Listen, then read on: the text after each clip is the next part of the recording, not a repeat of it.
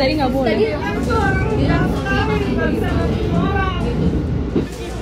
Turunin aja sih.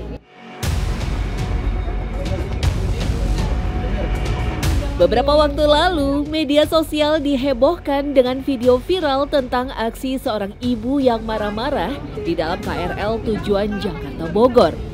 Dalam video yang beredar, tampak ibu tersebut tidak terima dengan cara duduk penumpang di depannya yang menghilangkan kaki dan selonjoran.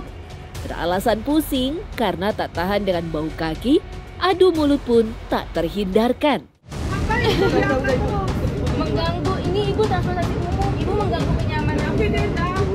Peristiwa ini hanya satu di antara peristiwa-peristiwa yang sering terjadi di gerbong KRL. Bahkan di gerbong khusus wanita, gesekan antar penumpang tak terjadi sekali dua kali saja. Saling sikut seolah menjadi hal yang lumrah, terlebih pada jam sibuk ketika kereta sedang padat-padatnya.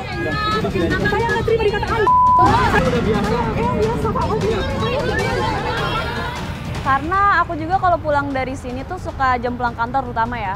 Suka naik KRL dan selalu di gerbong wanita juga nih kebetulan.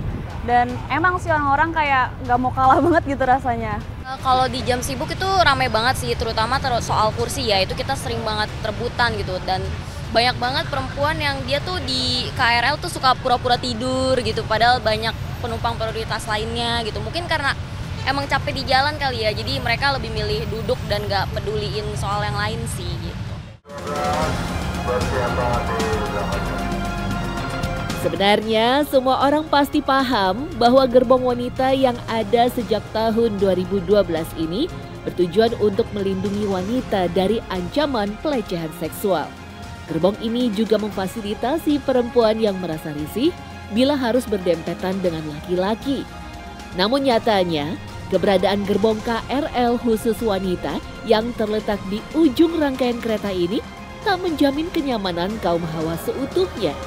Dibanding gerbong campuran, gerbong khusus wanita saat jam sibuk sering disebut lebih ganas. Bahkan tak jarang gerbong ini disebut sebagai gerbong horor karena banyaknya wanita yang susah menahan egonya di gerbong ini. Seperti yang dialami Nida Mufida, ibu hamil asal Bogor, Jawa Barat ini menyebut penumpang kereta khusus wanita bahkan tidak peduli dengan penumpang prioritas seperti dirinya yang seharusnya mendapatkan tempat duduk. Saya juga mengalami itu, gitu. jadi nggak ada yang menyuruh saya untuk silahkan duduk, gitu nggak ada gitu. Jadi saya eh, menunggu sampai security-nya datang, baru saya dipindahkan ke gerbong eh, sebelahnya, gerbong yang eh, campuran, ya. Di situ baru dikasih duduk sama security-nya. Nida bahkan pernah mengetes seberapa peduli penumpang perempuan di gerbong wanita tentang kondisinya yang sedang hamil.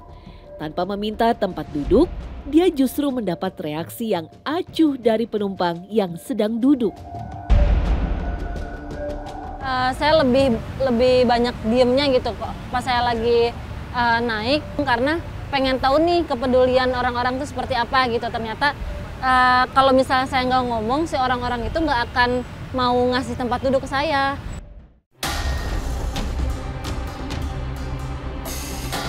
Ada satu momen saya pernah naik terus saya bilang saya lagi hamil gitu. Dan kondisi saya juga udah capek kan eh, perlu duduk gitu. Eh, terus ibunya tuh kayak ada ibu-ibu ya beda cerita kalau misalnya remaja kalau ibu-ibu tuh kadang suka acuh gitu terus sampai akhirnya ada di sebelahnya si remaja baru bu ini anak eh, ini eh, perempuannya lagi hamil ibunya lagi hamil gitu gitu nah barulah dikasih tempat duduk Bahkan saat usia kandungannya menginjak 4 bulan, Nida pernah hampir jatuh pingsan karena tak ada yang bersedia memberikan tempat duduk kepadanya. saya waktu itu posisi pas pulang dari Cawang terus saya nggak dapat tempat duduk. Karena posisi sudah lemas sudah capek saya berdiri di ujung di ujung si gerbong tuh. Karena udah nggak kuat saking nggak kuatnya sampai akhirnya saya jongkok. Karena emang udah selemes itu. Tapi kayak orang-orang di sekitar tuh kayak emang oh mungkin itu dia capek doang gitu ya. Sampai akhirnya saya hampir jatuh pingsan ada security. Nah dari situ saya turun tuh disuruh turun ke di pasar Minggu. Ingat banget di pasar Minggu saya turun. Nah di situ saya udah nggak uh, berdaya aja gitu, udah nggak berdaya.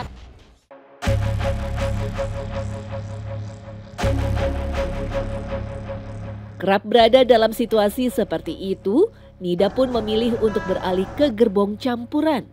Menurutnya, di sana dia merasa lebih banyak penumpang yang peka dan mau memprioritaskan dirinya untuk duduk. Kalau saya lebih better untuk ke campuran dibanding ke yang cewek, ya karena itu, karena kurang kepeduliannya. Terus kadang cowok-cowok pun lebih peduli, lebih peduli untuk memberikan tempat duduk untuk orang-orang yang hamil atau enggak yang lansia gitu. Itu lebih peduli sih dibanding perempuan. Sebenarnya, apa yang menyebabkan kondisi dalam gerbong khusus wanita punya kesan yang keras. Devi Rahmawati selaku sosiolog menyebut kondisi ini berkaitan dengan insting manusia dalam bertahan hidup. Yaitu intinya hanya tiga, yaitu dia berjuang, dia fight, dia berdiam, dia freeze, atau kemudian dia flight, dia uh, bergerak menjauh. Jadi hanya tiga itu.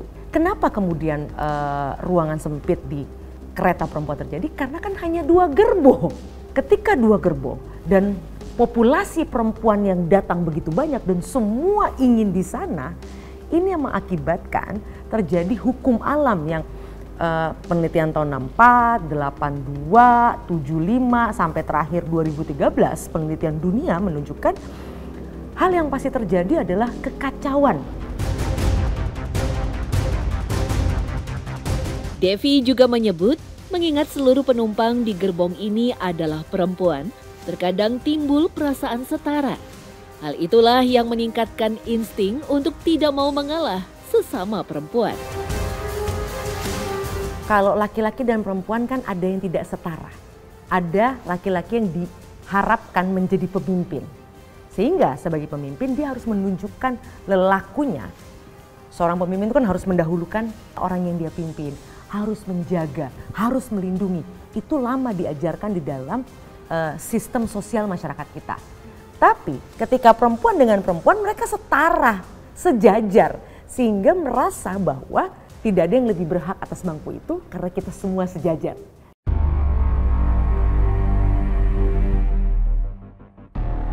Yang menarik, kondisi gesekan yang terjadi di gerbong wanita juga berkaitan dengan pola kompetisi yang sering terjadi antar perempuan.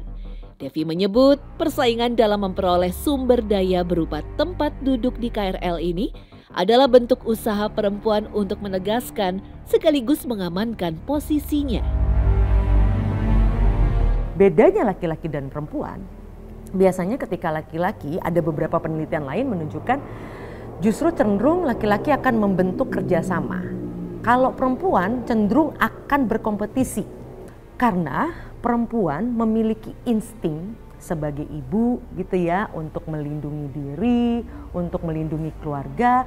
Ketika mereka masuk ke gerbong tersebut, perempuan survei-survei uh, terakhir bahkan 2021 menunjukkan hidup perempuan itu, jam kerjanya perempuan itu 39 jam lebih panjang daripada laki-laki. Kalau laki-laki pulang kerja selesai, pulang aktivitas selesai. Perempuan, apalagi posisinya adalah perempuan pekerja. Seorang ibu di rumah harus ngajarin anak belajar juga, mikirin gas yang lagi habis, belum nyuci baju, ngepel dan sebagainya. Tetapi di sisi lain, Meskipun kerap terjadi adu ego dan sikap tak peduli, sejumlah penumpang tetap memilih naik di gerbong khusus wanita. Apalagi dengan kepadatan yang semakin parah, mereka merasa tindak kejahatan terutama pelecehan seksual semakin rawan terjadi di gerbong campuran. Aku sih sebenarnya tetap di gerbong perempuan ya kayaknya karena aku juga takut uh, di kekerasan seksual segala macam kita ngindarin aja kayak gitu jadi kayak better di perempuan aja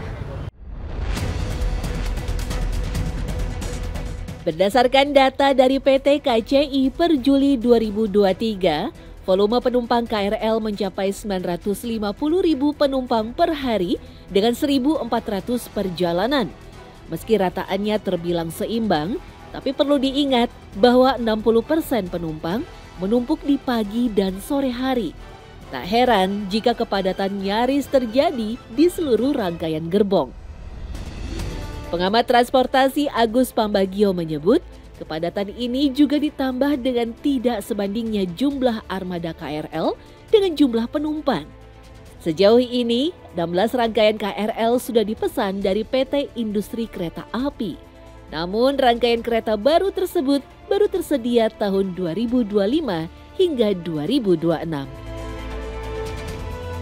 Tetap penuh mau sampai kapan pun, saat ini kan kondisi KRL sedang tidak jelas. Karena tahun ini ada 10 rangkaian harus dipensiunkan. Tahun depan 16, satu rangkaian 10. Jadi bisa dibayangkan, tapi pemerintah belum memberikan keputusan yang jelas. Terlepas dari penumpukan penumpang di jam-jam tertentu, Devi lebih menyoroti kepada pentingnya pendidikan karakter agar semua penumpang bisa menghargai orang lain. Tapi ingat, apa ada pelajaran kita yang mengajarkan bahwa ternyata sesama perempuan pun kita harus saling hormat. Di barat, karena memang budayanya budaya individual, oleh karenanya tidak heran persoalan hak asasi manusia itu dari lahir sampai pendidikan dasar itu dulu yang diajari. Sehingga dalam kondisi apa pun mereka sudah terlatih dari kecil, mau kita sesama perempuan, mau sama anak kecil, mau siapa pun harus saling hormat Gak bisa kita kemudian uh, atas dasar insting kemudian kita saling uh, menyakiti satu sama lain.